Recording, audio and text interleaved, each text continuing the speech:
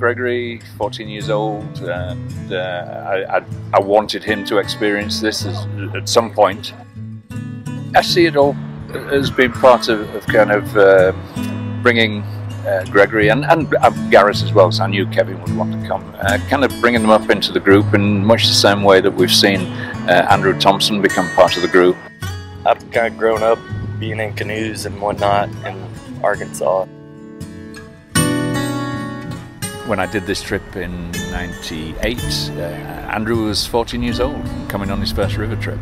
And uh, now look at him, you know, a, a, big hunky kind of guy, and, and, you know, just one of the one of the group, one of the guys, and uh, you know, I just hope the the same thing can happen that uh, Gregory Gregory will grow up to appreciate some of the things that I like doing, and, and that I can have the kind of uh, close relationship with him that I see Brian and Andrew have.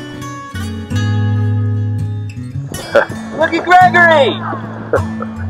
Joss Whedon wrote you back, you almost had a heart attack. You still talk about it to this day. It's a memory that lingers on, like meeting Spike at Dragon Con, or seeing Nathan Fillion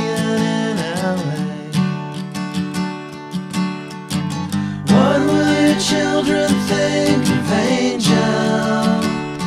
when they're grown.